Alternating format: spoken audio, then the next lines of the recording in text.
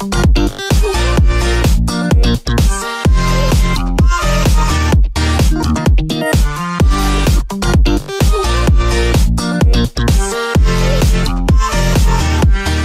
herzlich willkommen bei Feuerwilli. Das bin ich, Schwerpunkt Feuerwehr in Garbsen. Die sind nämlich auch hier. Das sind wir. Und wir werden jetzt gleich mal ein paar Einsatzbeispiele durchgehen. Ne? Wir fangen jetzt erstmal mit, der, mit dem Einsatz mit, mit Bereitstellung. Okay? Der Gruppenführer steht jetzt hier vor der Mannschaft, weil ähm, die anderen Truppführer stehen vorne. Das heißt, damit im Einsatzfall, wenn es laut ist, die auch miteinander reden können. Ne? Deshalb ist sozusagen die wichtigen Leute stehen jetzt vorne. Die wichtigeren, also die höher ausgebildeten, die können später, wenn es noch Fragen gibt vom Mitglied, können später noch geklärt werden, wenn der Gruppenführer schon wieder weg ist. Ne? Weil der Führer vorne hat es verstanden. Akustisch. So, äh, wir haben hier den Gruppenführer. Erkennt man hier an den Helmkennzeichnungen. Ups. Oh, manches ist vielleicht aufgefallen, das ist nicht nur ein Gruppenführer, weil der hat nur einen Streifen. Das ist sogar ein Zugführer.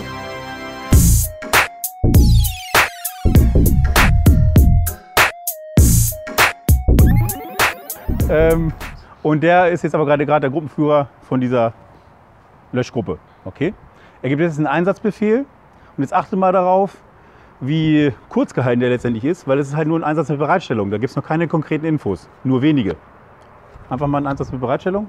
Wasserentnahmestelle Oberflöhrdrand befindet sich hier um die Ecke. Verteiler eine B-Länge vom Fahrzeug in die Richtung. Zum Einsatz fertig. Zum Einsatz fertig. Es war nur die Info, wo ist die Wassernahmestelle, das war der Oberflöhrdrand, und wo kommt der Verteiler hin. Mehr nicht. Jetzt wird die Zeit genutzt äh, für den Gruppenführer, während die Mannschaft beschäftigt ist, weil die haben gut zu tun, weil der Oberflöhrdrand ist erstmal 200 Meter weg, grob geschätzt. Ähm, nicht ganz. Aber wie gesagt, in der Zeit, wo die Mannschaft arbeitet, kann der Gruppenführer jetzt gemeinsam mit dem Melder sich einen Überblick über die Lage verschaffen. Ne? Ist so der Klassiker. Deshalb, die fangen jetzt an. Und wir können jetzt mal gucken, wir fragen jetzt mal die Mannschaft, ob jetzt jeder weiß, was er auch in dieser Situation macht. Okay, los geht's. So, Maschinist. Ja, ich bringe das Fahrzeug zur Einsatzstelle und schaue, dass die Gerätschaften passend rausgeholt werden und dann auch wieder verräumt werden und bin zuständig für die Pumpe. Dem ist nichts hinzuzufügen. Super. Der Melder, Ja, ich bin der Melder und bin damit der Führungsassistent. genau, Führungsassistent für den Gruppenführer, die rechte Hand. Okay. Angriffstrupp, Ja, Ich setze den Verteiler und äh, gehe als erster Trupp zur Menschenrettung oder Brandbekämpfung vor. perfekt. Wassertrupp, Ja, wir sind der Wassertrupp. Wir bauen äh, die Wasserversorgung bis äh, zum Verteiler auf. perfekt. Schlauchtrupp, Ja, wir sind der Schlauchtrupp. Wir legen die Schläuche ab dem Verteiler von den Trupps zum Verteiler. Perfekt. Ja, dem kann man nichts hinzufügen. Ich würde sagen, ich bin beruhigt. Ich würde sagen, wir fangen gleich mal an. Gucken wir uns das mal an, was jetzt passiert. Wir hören jetzt nochmal den Einsatzbefehl mit Bereitstellung. Achtet drauf. Wasserentnahmestelle Oberflöhrdrand hier um die Ecke. Verteiler eine B-Länge vom Fahrzeug in die Richtung. Zum Einsatz fertig. Zum Einsatz fertig.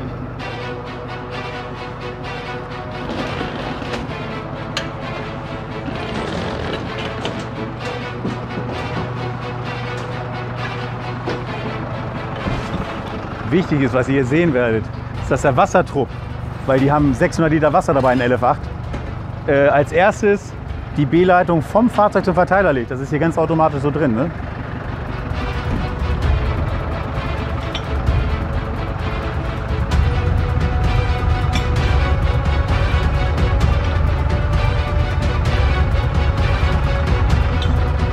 Verteiler liegt schon.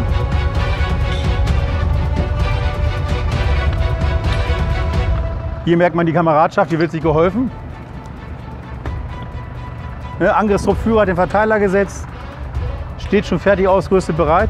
Und habt ihr das geübt oder was? So, Verteiler liegt.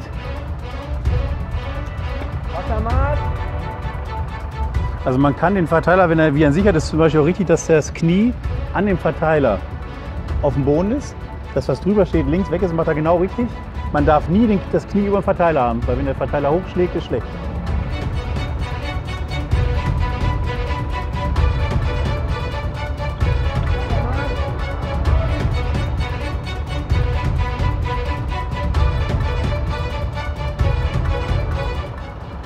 Die laute Kommunikation ist auch wichtig. Ich habe gesehen, Handzeichenunterstützung, weil der Maschinist hinten an der Pumpe hört das nicht. Ne? Man muss laut rufen und ein Signal geben. Ne? Verteiler steht unter Druck. Kann losgelassen werden. Perfekt.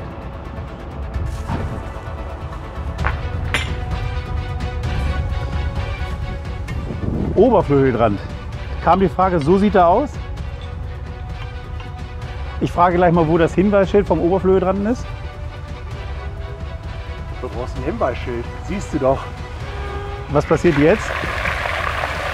Es kommt sofort Wasser, wenn man hier oben dran dreht. Ne?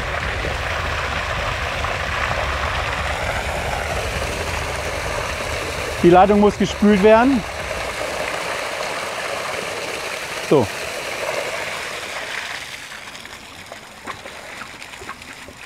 Letztendlich ist ein Oberflurhydrant ist letztendlich nichts anderes wie ein dauerhaft eingebautes Standrohr. Das Hinweisschild hierfür, damit man den findet, gibt es nicht. Ne? Das heißt, wer den nicht findet, der findet auch kein Hinweisschild normalerweise. So, Wasser kommt und los geht's. Also ihr seht, Oberflurhydrant ist jetzt kein Hexenwerk. Braucht man nur einen anderen Schlüssel für, damit man das hier oben bedienen kann. Und gut, das war schon alles. So, super. Nachdem die Bereitstellung jetzt fertig ist, tritt die Mannschaft am Verteiler an. Am Verteiler, sagen wir immer, wird das halbe äh, Auto ausgeräumt und hingelegt. Bei uns ist ja auch nicht so viel drin. Aber hier wird natürlich nur das bereitgelegt, was man für einen Brandeinsatz braucht.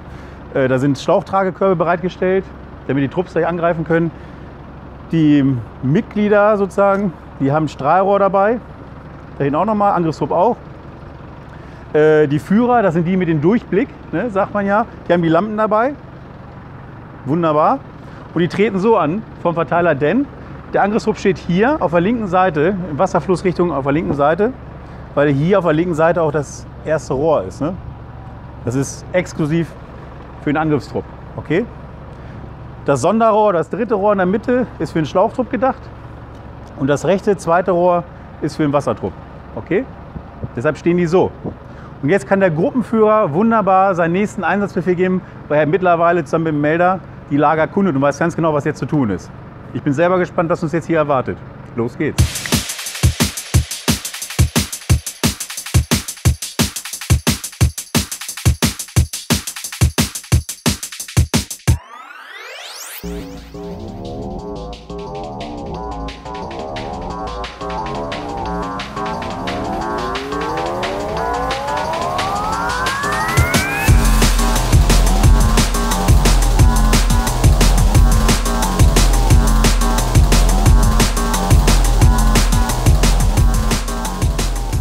Das waren die Jungs hinter der Kamera, die Jungs aus meinem Nachbarwehr.